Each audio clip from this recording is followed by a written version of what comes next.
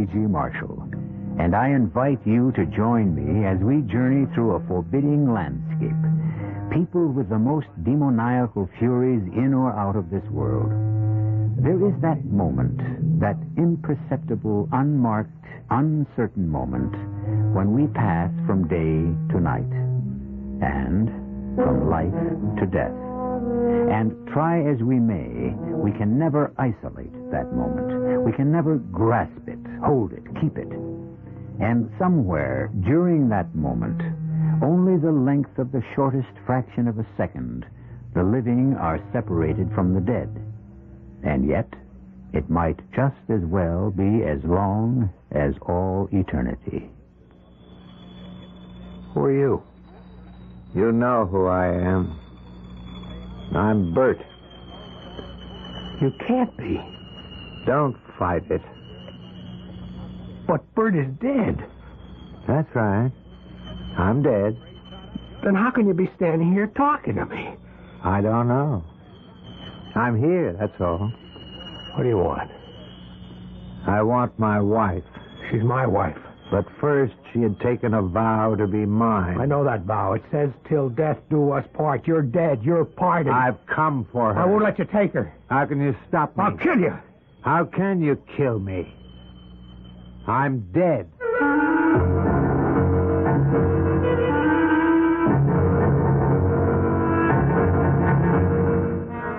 Our mystery drama, Love Me and Die, was written especially for the Mystery Theater by Sam Dann and stars Ann Shepherd and Mason Adams.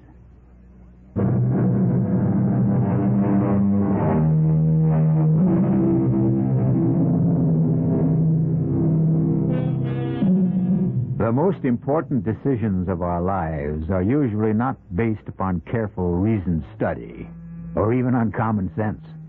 No, our most vital decisions are often arrived at suddenly, irrationally. Men and women choose each other because of mysterious music in the voice or a sparkle in the eye. You remember the saying, had the nose of the beautiful Helen of Troy sloped outward instead of inward, there never would have been a Trojan War. So, Stephen Barrow wanted Emily Phillips for the same reason Paris wanted Helen. She was the most beautiful woman he ever saw. These things never change. Happy, darling? Yes, It doesn't sound very enthusiastic. I'm sorry. Sorry. What a word to use on a wedding night. What I meant. What I mean. I'm so afraid.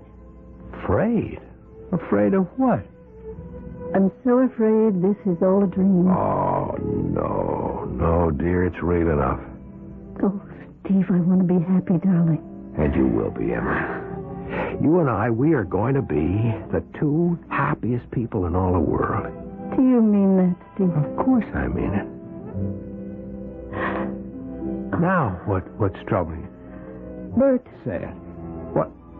I'm thinking of Bert.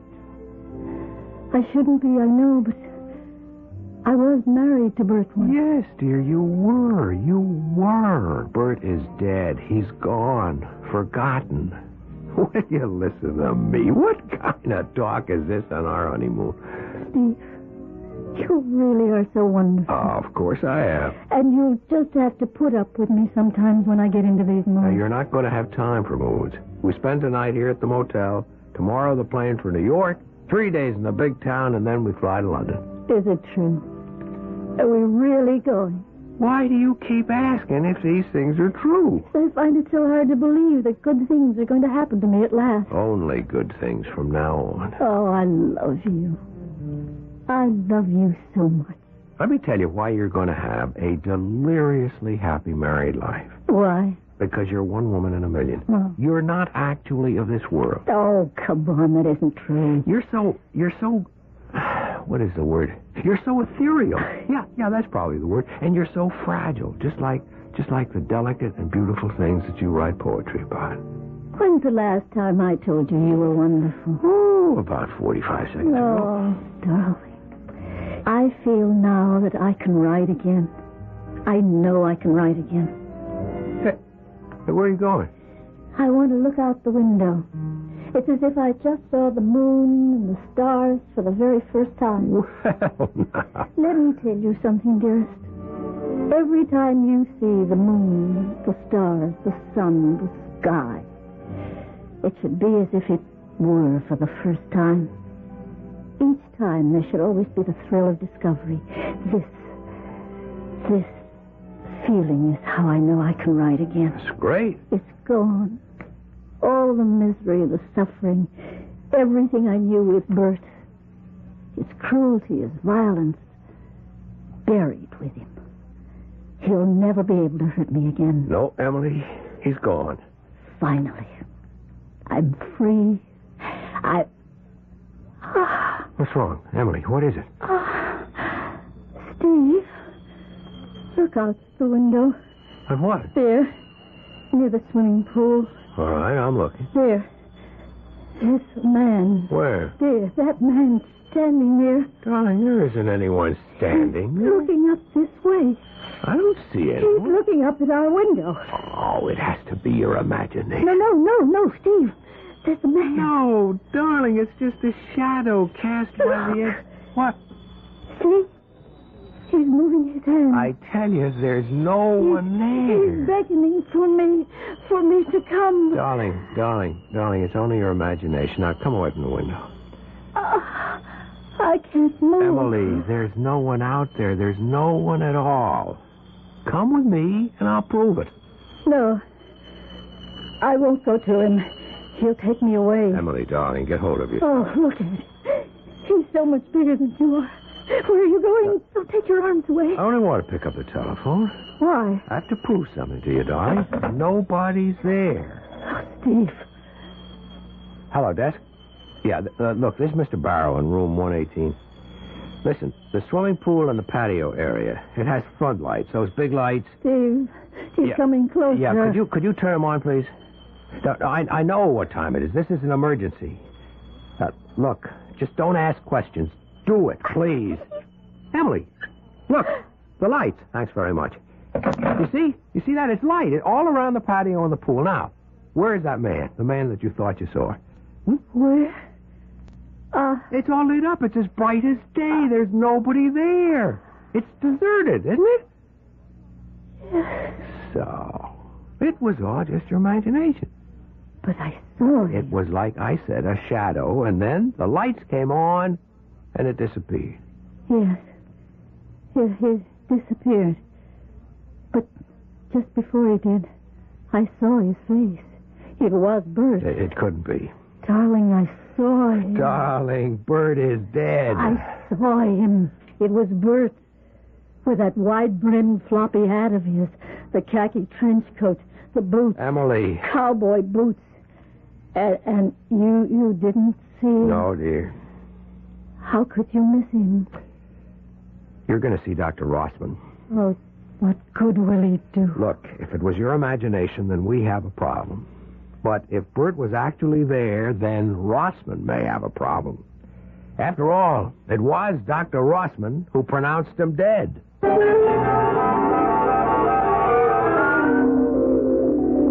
Sure you saw Bert? How could I not see him, a man of his size? Yet Steve saw no one. No one. And then, when the pool and patio were flooded with light, suddenly he disappeared.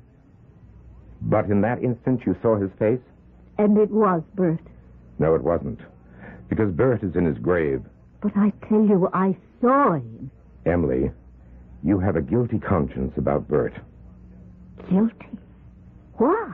Because he's dead and you're alive. But I told you how he treated me. Yes, but you keep thinking. Perhaps. Perhaps it was your fault. Perhaps if you'd been more patient, more understanding. Ah, yes, perhaps. And now, once again, you are married. And on your wedding night, you fear that Bert still feels that he's the bridegroom. And that's why he beckons you to come to him. Doctor, what can I do? Place your trust in Steve, Oh, I do trust. your full trust. Don't be afraid that this marriage will also fail. Steve loves you. He wants to protect you. Do you believe it? Yes, I believe it. If you really believe it, you don't have to be afraid of Bert anymore. I'm not afraid. I'm no longer afraid of Bert. Go on your honeymoon, be happy with Steve, and you will never see Bert again.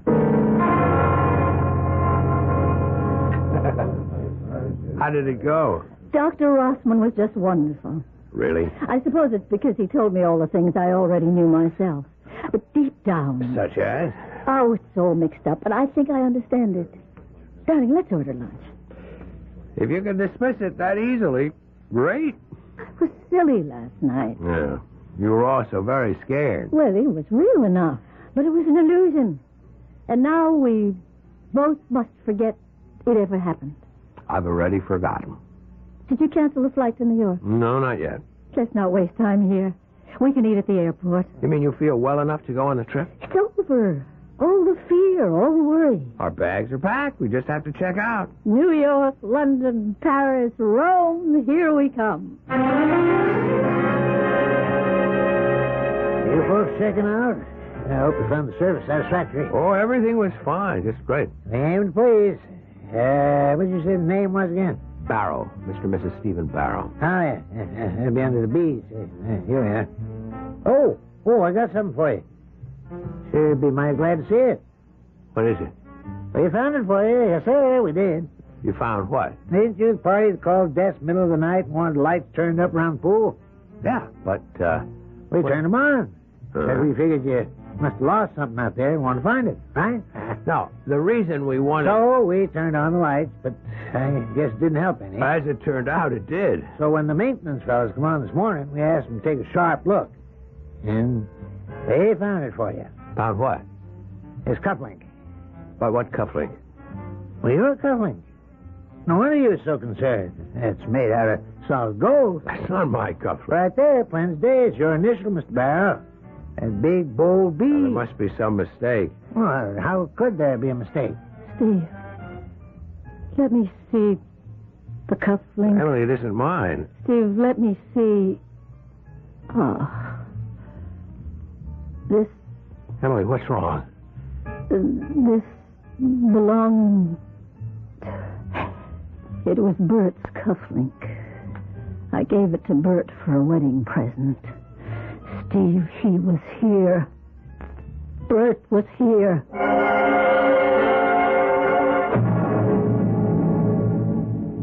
It's all very well for the doctor to say it's Emily's imagination which is being fired by things like guilt and remorse and fear. Sure, we can all say that. But how about that gold cufflink with Bert's initial on it? I'll be back shortly with Act Two.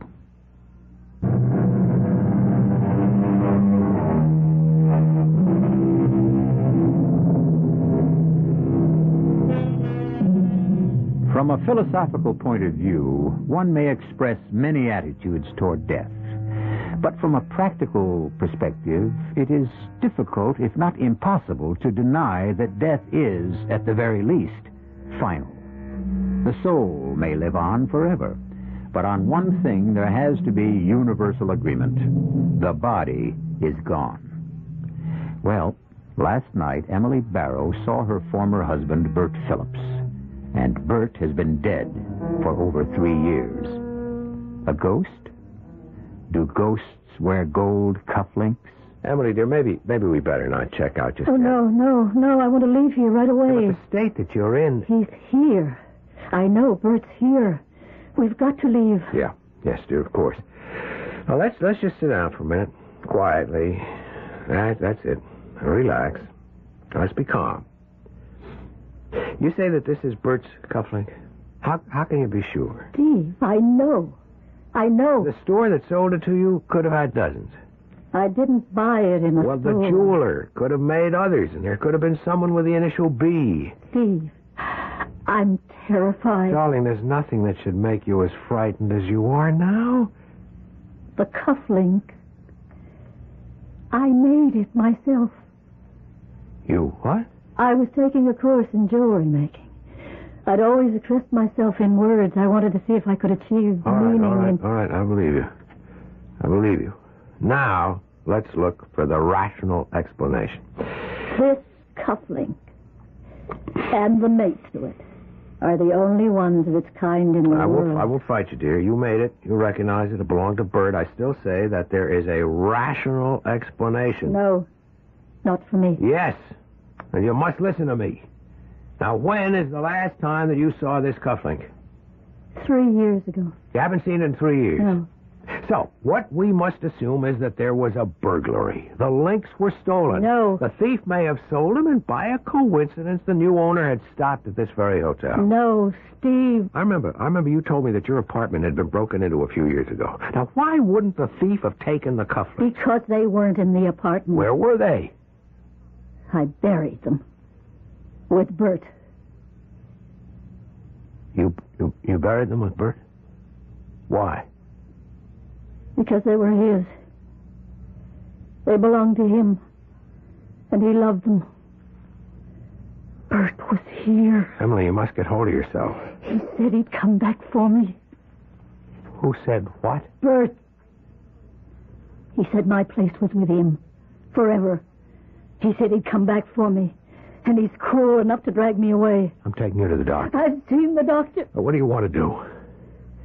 Maybe it's this place. Maybe there's something about this motel. How could there be? Let's get out of here. Oh, darling, please, we can still make the plane to New York.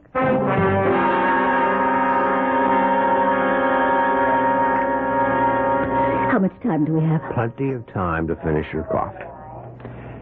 Feeling better? Mm, much. It must have been the motel. I remember now, I once spent a night there with Bert. The place has been remodeled, It has a new name. Place can be haunted. Sometimes by a memory. I think this whole town is haunted for me. It's where Bert and I spent most of our marriage. Oh, you look so much better now. I feel so much better. I must have worried you horribly last night. Yes? Well, it should teach you a lesson. Don't ever fall in love with a girl at first sight and marry her two weeks later without knowing anything about her. I know everything I need to know. How do you predict these things anyhow?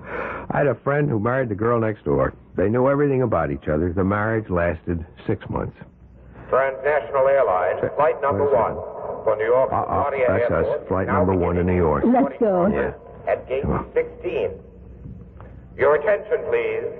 Will Mrs. Bert Phillips please report to the airline service desk in the main lobby? What? Mrs. Bert Phillips. Mrs. Hmm?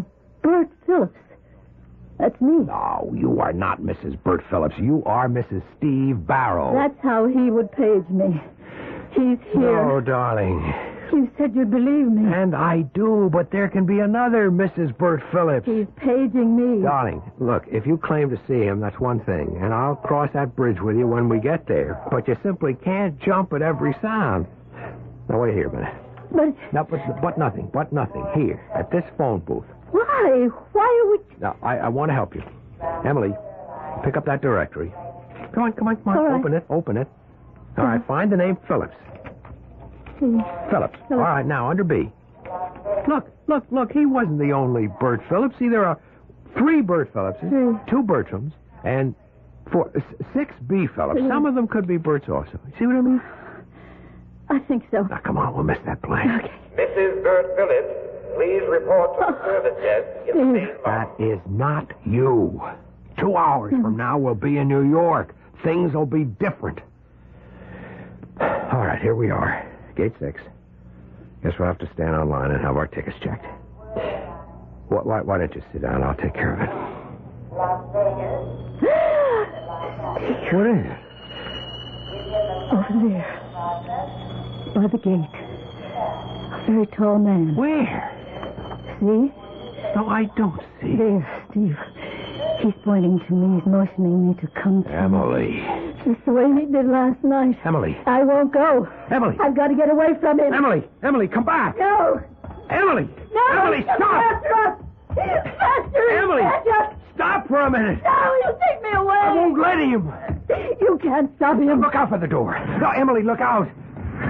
Emily, where are we going? Taxi! Taxi! Get in quickly. Hurry. Slam the door. Driver, get away from here. As fast as you can, please.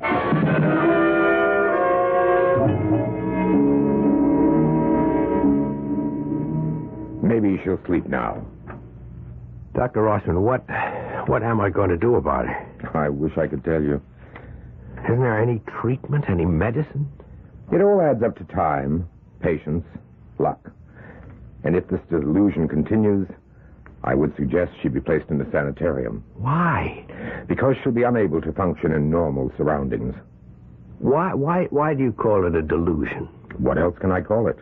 Well, suppose suppose it's true. Suppose she really did see him. No, Steve. Don't.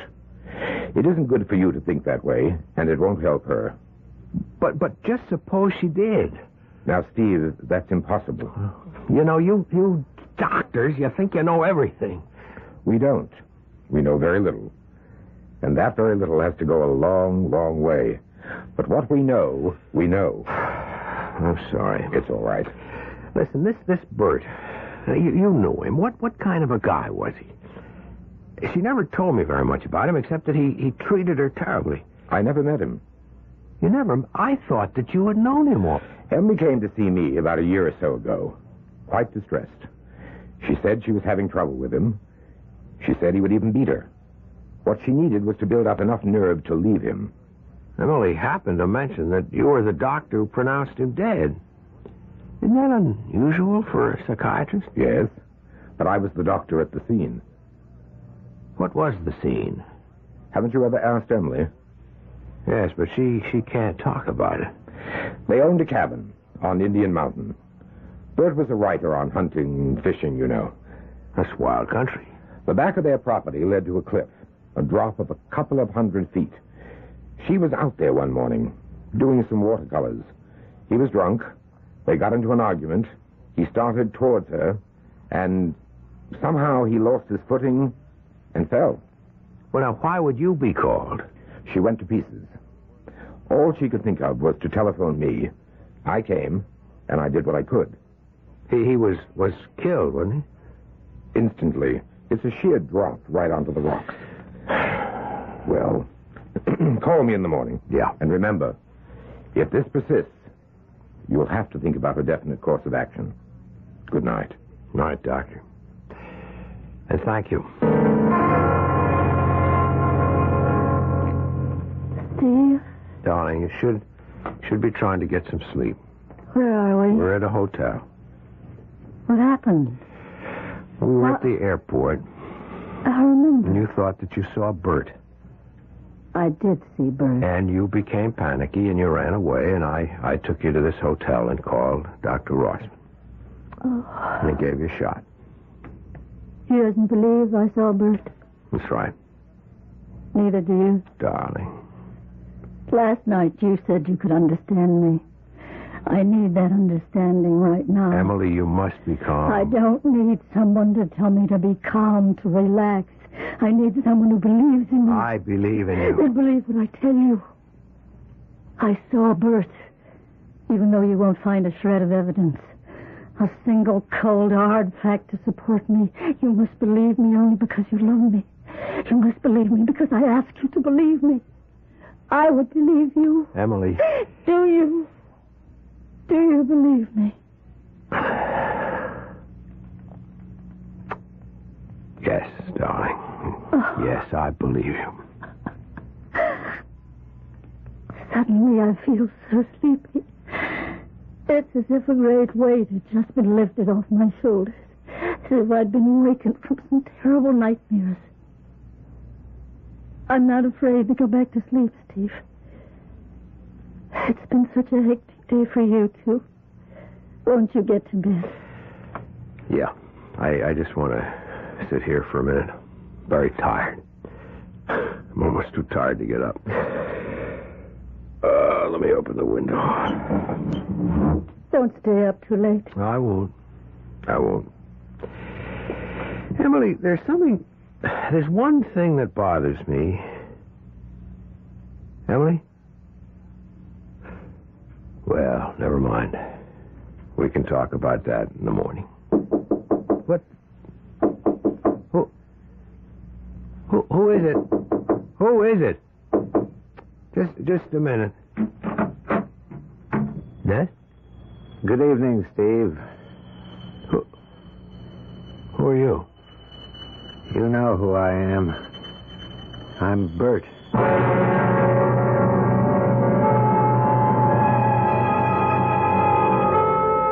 Was Dr. Rossman who officially pronounced Bert dead. So, what's this?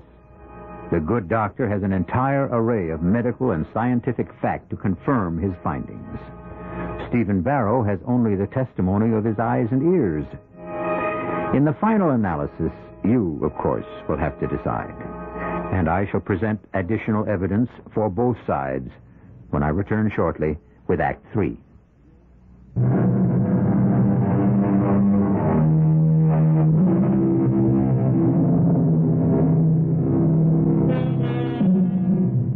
Are those who say that death is the end, and those who say that death is the beginning. Now, however, it seems that we are being faced with death as a continuation. Bert Phillips was killed in an accident, a fall from a cliff. He was properly and officially buried. But here he seems to be standing at the door of the hotel room where his former wife is spending the night with her new husband. Up to now, it was only Emily, frightened and troubled Emily, who had been able to see Bert. But now, is it Steve's turn? Steve sees Bert, sees him plainly as he stands in the doorway. Who who are you? I told you. Bert. You can't be. You're dead. I'm dead. Then how can you be standing here talking to me? I don't know. It's enough for me that I'm here. What do you want? I want to talk to you. May I come in? It's a, it's a dream. That's what it is. It's a dream. It may not be. You admit you're dead. What are you doing here? You sent for me. I sent for you. What are you talking about? You'll have to figure that out for yourself. Why would I send for you? There's an idea forming in the back of your mind. You're not aware of it consciously, and you're going to resist it, but it's the truth. I still don't know what you want. I want my wife. She's my wife.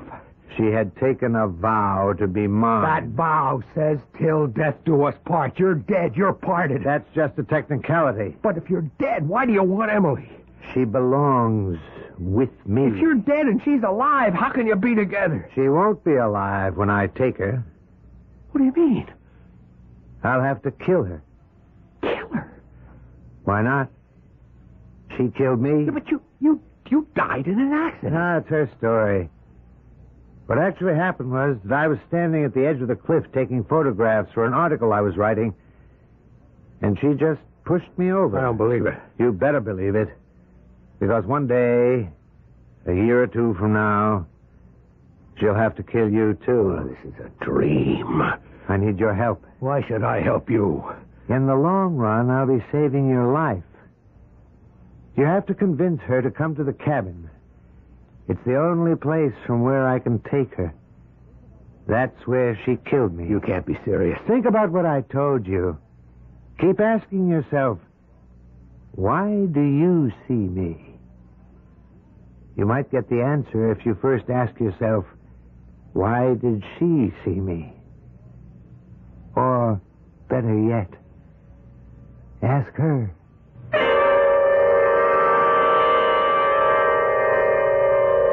Steve?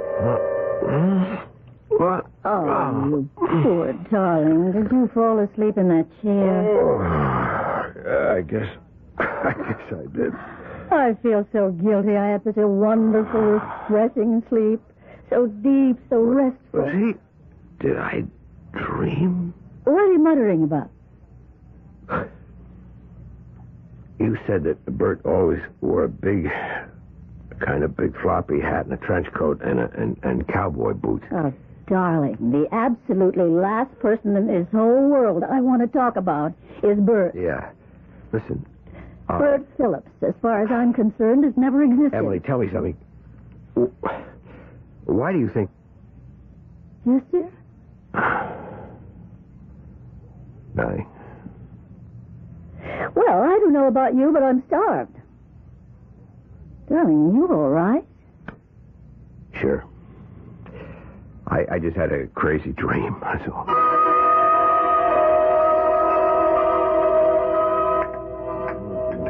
Steve, you sure you're all right? Yeah, I'm okay. What? You haven't touched a thing. Oh, I never eat much breakfast. The important thing is that you feel okay. Mm-hmm. Sometimes you have this terrible confusion, and then suddenly it's gone. Why it came, you'll never know. How it went, you'll never find out. It's as if someone magically took it away. But it's gone, and that's all that matters. And now, darling, are we ready to resume our honeymoon? Sure. But we'll have to make some new reservations. Tell you what, let's not go to New York and then on to Europe. No, why not? Well, we've postponed it twice already. Maybe it's a sign that deep down we didn't want to go so far away in the first place. How about Mexico City? Just a few hours away and we can. Steve, are you really all right? Emily, do you see someone standing by the door? Where? Just to the, the left of the cashier's desk? No, darling, there's nobody standing. It Must have been my imagination. Oh, Steve. You've caught it from me, this delusion of seeing people.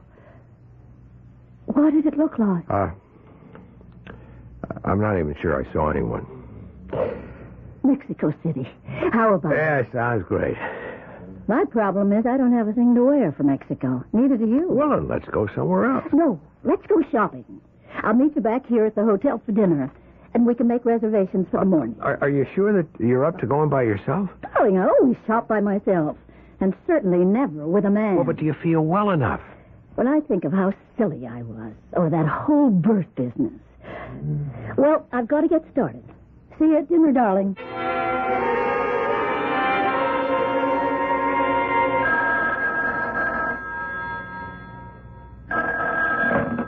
Hello?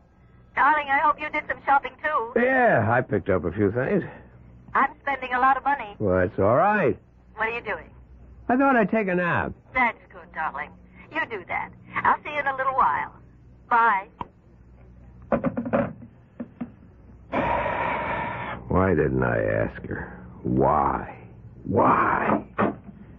You left your door open. Bad. You should keep the door locked these days. What do you want?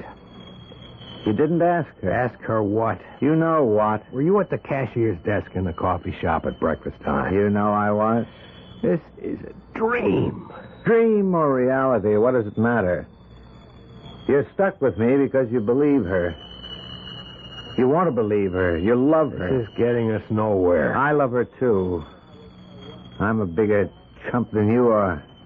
Even after what she did to me, I love her. And why did you treat her so badly? who says I treated her badly? Everybody. Who's everybody? Dr. Rossman, for one. He never said I mistreated her. He said she told him I abused her. But you did. Only because she says so. Why should she kill you? For the same reason she'll kill you. You keep saying that.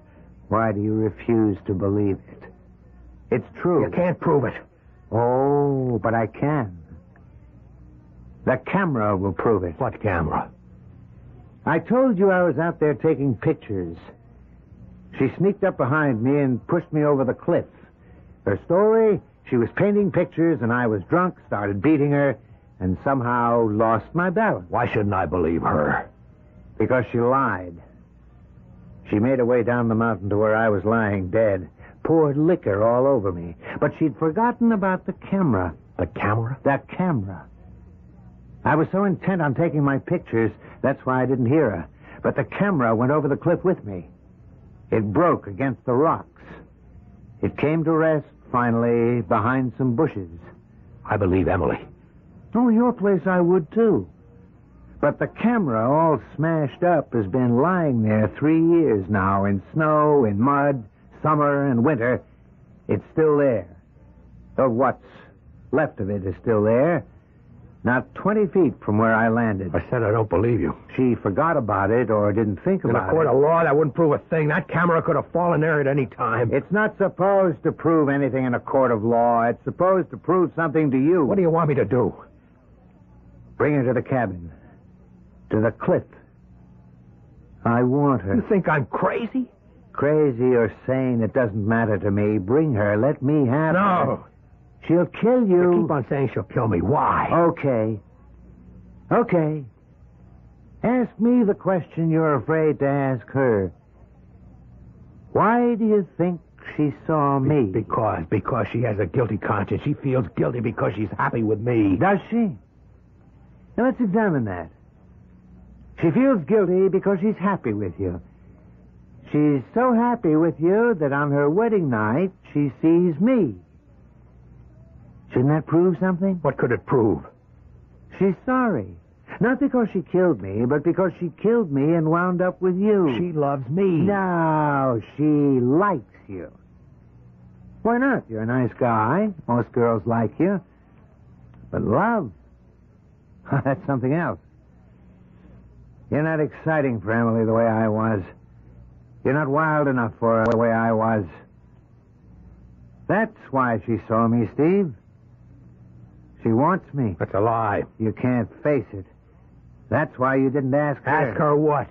Why she saw me on your wedding night. I'll kill you. I'm already dead. Why do you insist she killed you? Because I was wise to her. You'll also get wise to her one day. Bring her up to the cabin. Never. Scared? Why should I be scared? Once she's up there, she'll have to choose between us. And you're scared she'll choose me.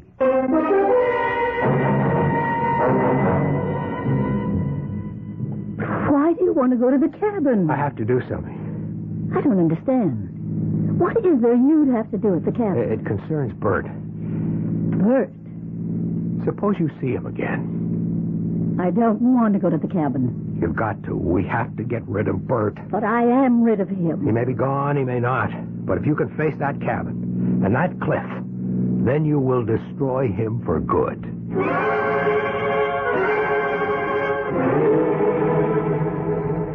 I haven't been here since he died. You never told me how it happened.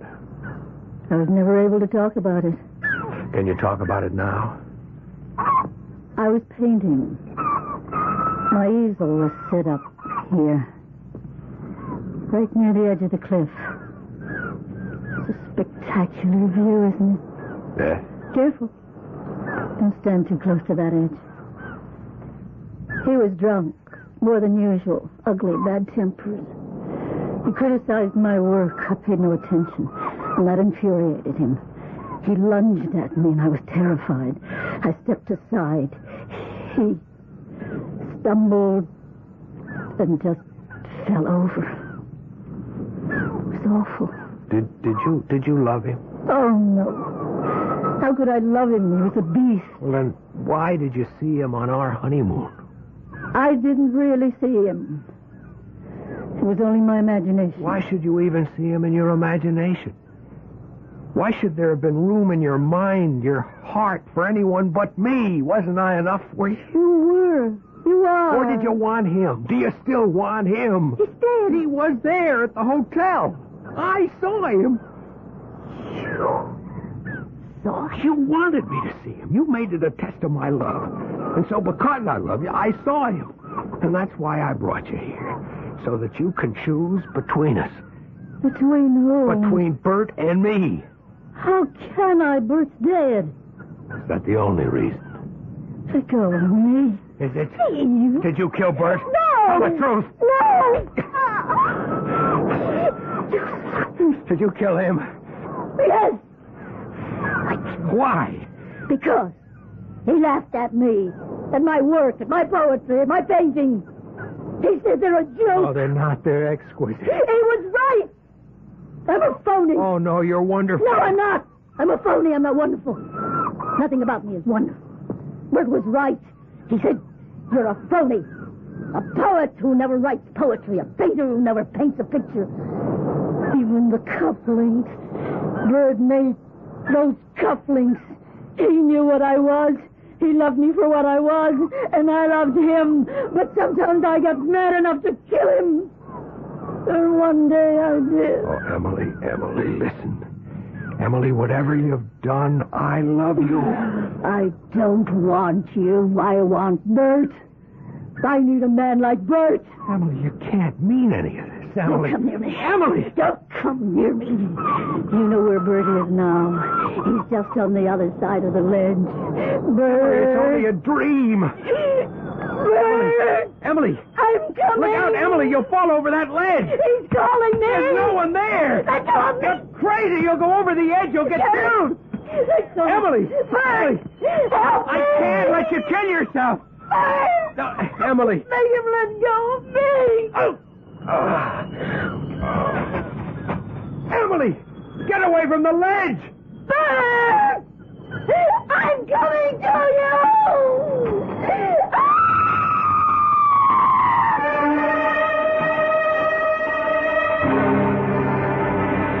Ah! The police list it as an accident. The second tragic accident to occur at that beautiful but seemingly fatal spot. What did happen? Once again, we present you with options. We could say Stephen, consumed with jealousy, killed her. We could say her guilty conscience killed her. Or we could say Bert came back to reclaim her. You can make a case for each, and also for me to return in just a few moments.